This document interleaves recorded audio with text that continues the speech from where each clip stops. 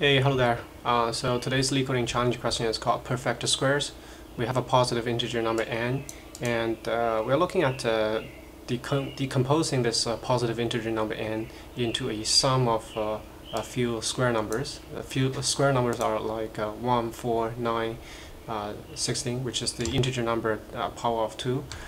And we want to find a way such that we require least number of square numbers to do this sum to, uh, to, to sum them up to n. So looking at example, we have 12 as the positive integer number. The, the most uh, inefficient way of getting the sum to 12 is have 12 1 added together. And uh, that's the most inefficient one. A better solution is to add 9 with 3 1s. So we get uh, 9 plus 1 plus 1 plus 1. we can get 12 with 4 numbers. Um, but it's still not the optimal. The shortest uh, you know, the least number solution is to add 3, 4 together to get 12.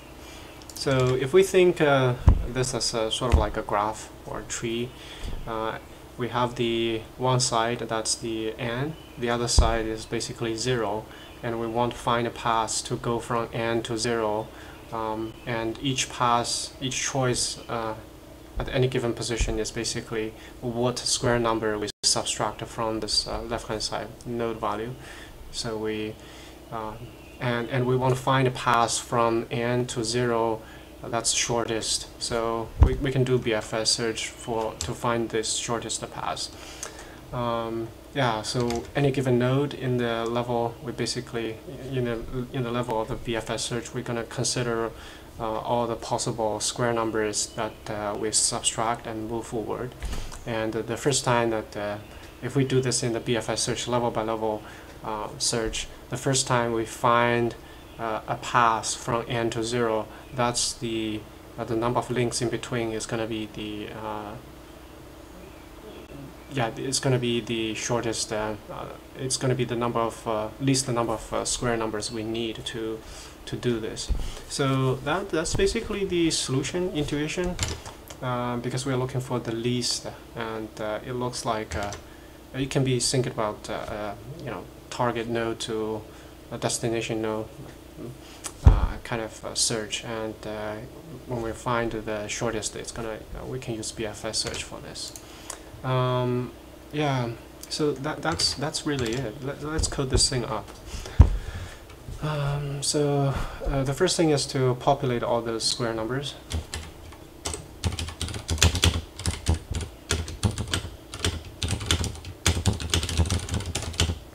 uh, we can do a little bit uh, over. So we take a square root of n and uh, uh take a floor of that and add 1 so that uh, the upper bound the square number the largest square number has to be uh, at least larger than the the square root integer number. So in making sure that we can consider we are considering all the square numbers we potentially need uh, and then we're just gonna do level by level BFS search. The first level is the source node, the root node, the, the n as, as a whole number.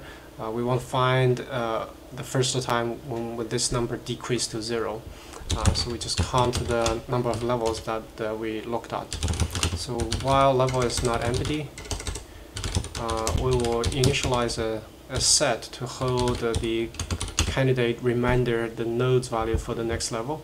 Uh, the reason we use a set is that there could be potentially be some duplicates. So let's say that from n we choose to subtract a 4 and then in the next uh, level we uh, subtract 9. It will be uh, effectively the same as if we subtract 9 in the first level and then subtract a 4.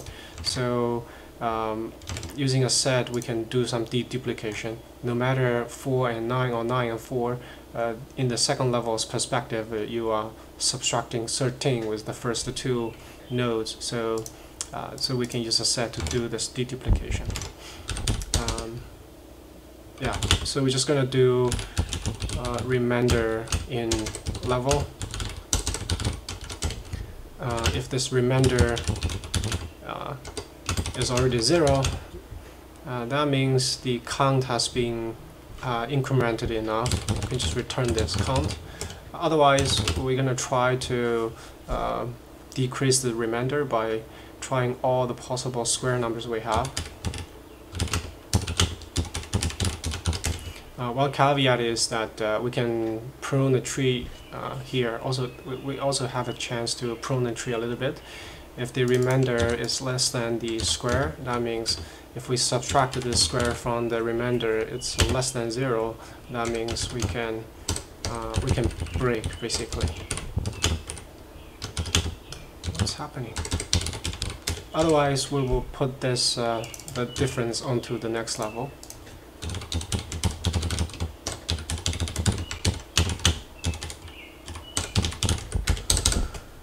Uh, and after we process the level, we add a, we increment the counter for the count and uh, assign the uh, new assign this uh, next level to level.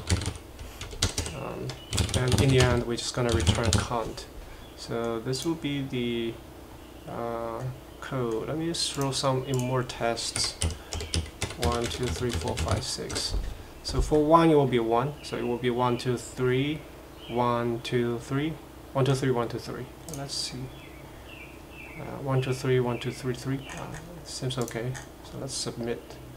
And it's working. Okay, so this is the BFS search solution. Let's talk about the, the time and space analysis for this. So here, uh, the space for the square numbers are uh, square root of uh, n, uh, roughly that, right? because we go from 1 to square root of n and uh, creating all those square numbers.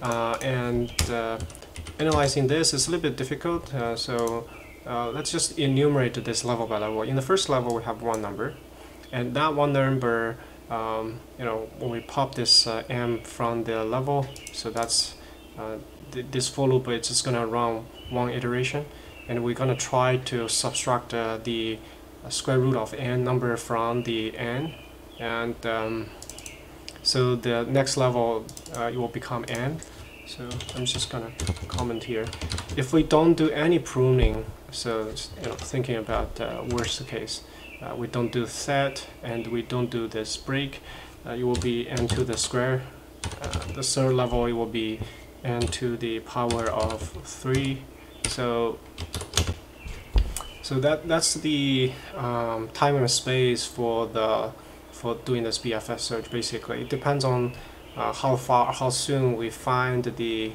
uh, the perfect square numbers. So, um, so let's say that uh, the length for this is uh, you know here we have three. Let let's just call it uh, h. Um, so it will be Oh, sorry. This is the square root of n.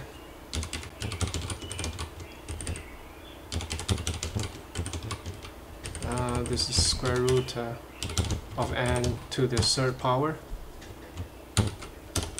Uh,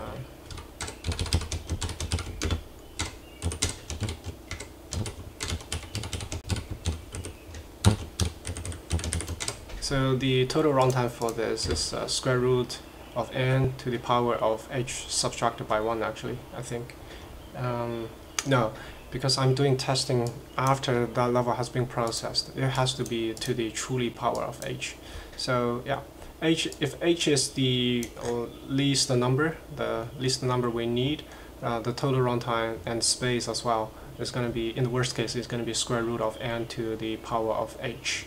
So since square root is just the one half, uh, it would just be h to the uh, n to the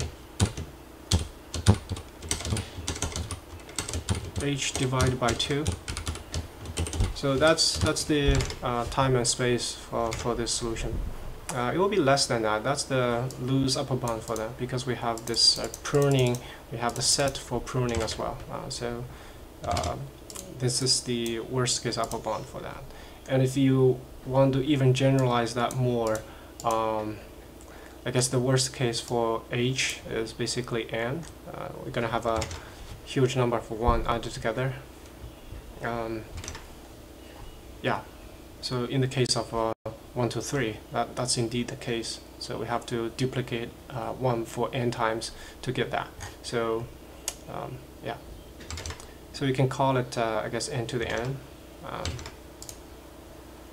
but gen generically, uh, if we can use a variable for the actual lens, it will be n to the power of h divided by 2. So yeah, that's the this question today. It's quite simple.